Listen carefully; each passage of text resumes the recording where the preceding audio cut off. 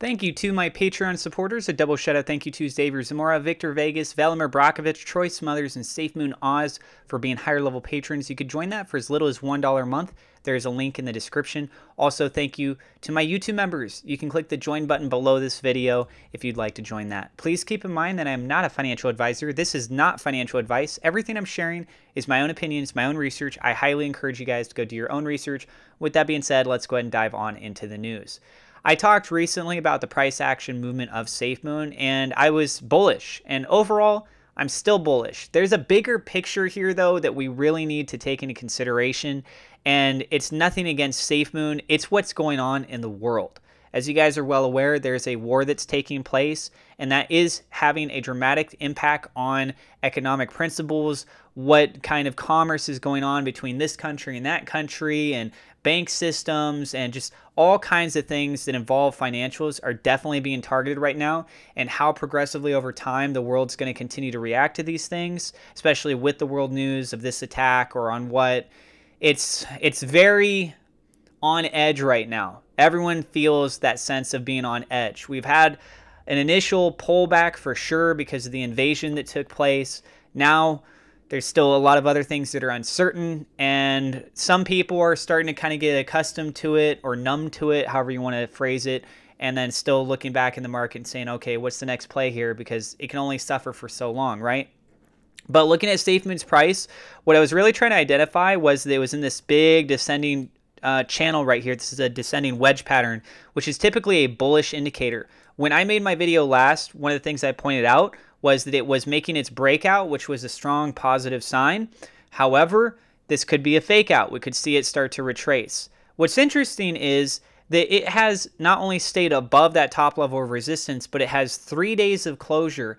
Two of them were technically red candles, but the third day of closure signifies in a traditional sense that it is still bullish in the fact that it is more likely that we're going to have a continuation up it is kind of writing down this channel right here, which if it does continue this pattern for another day, I would reconsider potentially raising this level up to the top right there so that that forms a new trend line position. But we're talking about probabilities here. The probability currently, just looking at the TA, suggests it's more likely to go up than to go down. I was concerned it could be a fake out and could end up pulling back down. And if it does so, then based on where we are right now, the worst case scenario that I'm seeing um, of likelihood would be down here at 948, which would be breaking down below a key level, which is off the one, and uh, that would establish a new all-time low for SafeMoon. There's lots of good news that's supposed to be coming out for this month, of which I've been reporting on my channel, and there's some news that came out earlier today. I already talked about that with MoonPay. You guys can check out that video if you're curious to find out more information there. But as it is going down, we're going to see some support at 1256. A further decline down would be at the one range before it breaks that zero. And then down below that would be at that 946 level I was talking about there. Volume very, very low right now. There's not a lot of trading activity. In fact, if we go over here to SafeMoon Glubis's website, great tool, great website, safemoonglubis.com. I highly recommend it we can see that the level of volume is still between that 2 and 4 million range at 2.614 million right now. Last 24 hours down 7.48%. Something I really want you guys to take into consideration here is that there are more and more partners that are coming on to the SafeMoon swap, which means that every time you have a new partner come on, there's a higher likelihood we could see the volume kick up because of just how the liquidity system works, how the SafeMoon swap works. Every time there's a transaction, 0.25% gets transacted out, helping the SafeMoon ecosystem. Very powerful tool. And that is something that would obviously have an impact on SafeMoon's volume price. So, what you guys should really be understanding here is that you have communities in all these other different projects it's not two or three. There's there's a handful of these cryptocurrency projects that are now part of the SafeMoon swap, and they have their own people. And some of those people they don't even own SafeMoon. They just own that token. They maybe downloaded the SafeMoon wallet so that they have the functionality feature a little bit easier, uh, being able to acquire it. And with MoonPay, their new update that they have could create a great opportunity, not just for SafeMoon, but for all these other partners that are part of the Binance Smart Chain side. So I, I find it to be very interesting what's going on there. My point is, you add all these partners and the volume is still down.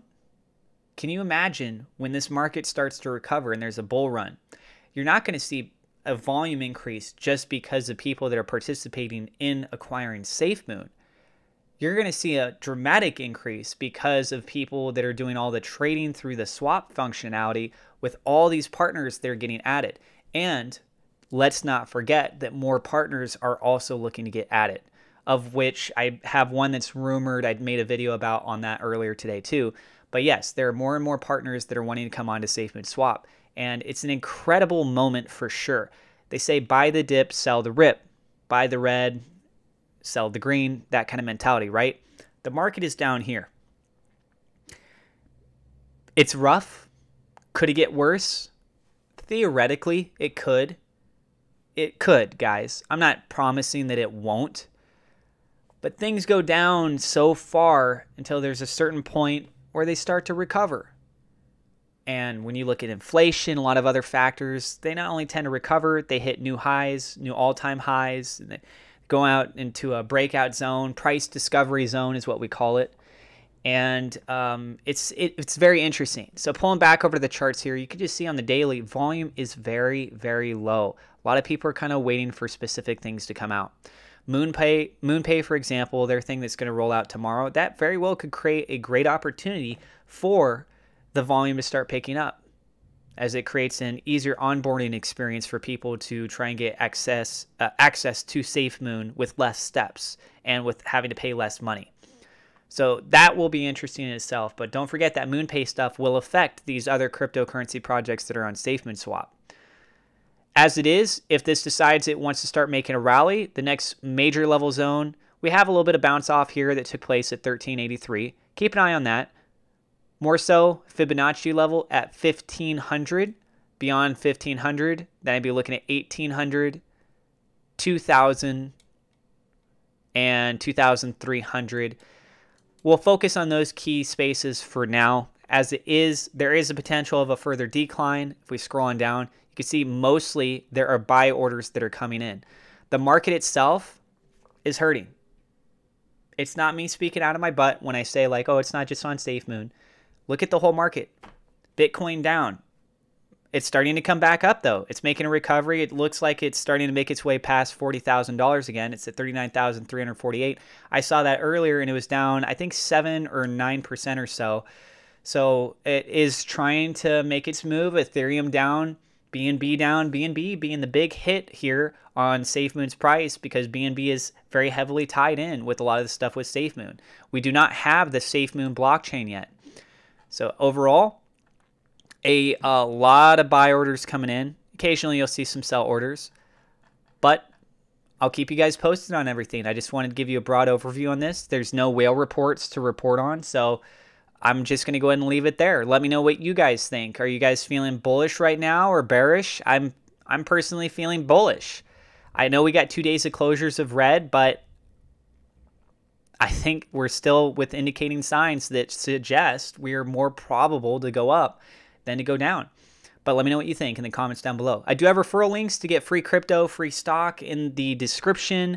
Webull has an incredible deal right now for stock stuff. So if you guys want to check out their platform, you could technically do some trading of crypto projects on there. It's a limited list, but they do have some things there. So uh, if I was to recommend anything right now, I would say that one. But again, I am not a financial advisor. This is not financial advice. And if you guys are new to the channel, do not forget to hit subscribe, hit the thumbs up like button. It definitely helps us out with the YouTube search algorithm. Click the bell icon so you know whenever we go live. God bless, and I will see you in the next episode.